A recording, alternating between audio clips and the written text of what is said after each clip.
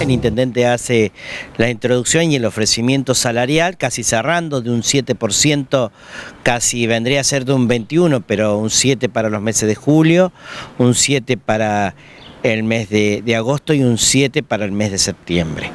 Eh, posteriormente también hace el último ofrecimiento de 5 mil pesos de presentismo, 5 mil para los meses de, mm, de, de julio, 5 mil para el agosto y 5 mil para los meses de septiembre la mayoría de los trabajadores, es decir, del 100%, dijo, mirá, esto es insuficiente porque sacando la cuenta, el 7%, si lo vemos en cuestión de números, estamos hablando de 15 mil pesos, pero si 15 mil pesos vos le descontás el 18,8%, es decir, a los aportes patronales, la verdad nos termina quedando entre 12 mil y 13 mil pesos. Creemos que es insuficiente, primero por los costos de vida que sabemos que se han elevado, porque si bien los índices inflacionarios estamos hablando de un 4,8%, vemos que la góndola no presenta la misma realidad,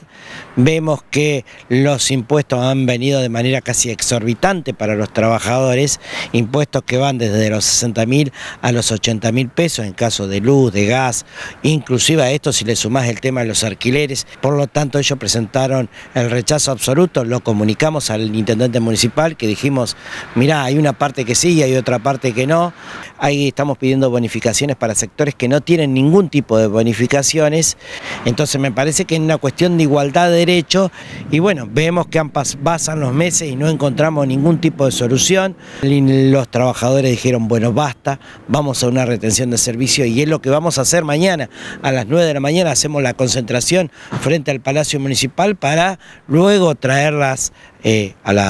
a ver que el Ejecutivo si presenta una contrapropuesta, caso contrario continuaremos con las retenciones de servicio. ¿El resto de los gremios eh, rechazó, aprobó, están ahí definiendo? Ellos creo que, ACEN creo que estaba, ya había definido acompañar la medida de fuerza que ATE estaba llevando adelante, como el gremio de eh, Soyen, todavía no sabemos cuál es la decisión que ha tomado. Y en el caso de que no sean convocados a una nueva paritaria con una propuesta superadora, ¿van a continuar con las medidas de fuerza? Exactamente, esa es la, la idea, así que bueno, veamos mañana cómo va a ser la concurrencia, ¿sí? cómo van a estar los sectores. Sabemos que hoy un trabajador con los 200, 250 mil pesos, 300 en muchos casos, sabemos que no, no, alcanza a vivir teniendo en, en cuenta la, la, lejanía que nos encontramos muchas veces de conurbano bonaerense, que los costos de vida sabemos que acá es muy elevado y si a esto le sumamos el impuestazo que estamos teniendo últimamente, creo que nadie alcanza a sobrevivir al quinto día mensual ¿sí? por eso estamos pidiendo que el Ejecutivo revea esa situación ¿sí? con una retención primero de 24, pero si no hay una contraoferta continuaremos como bien te lo mencionaba recién.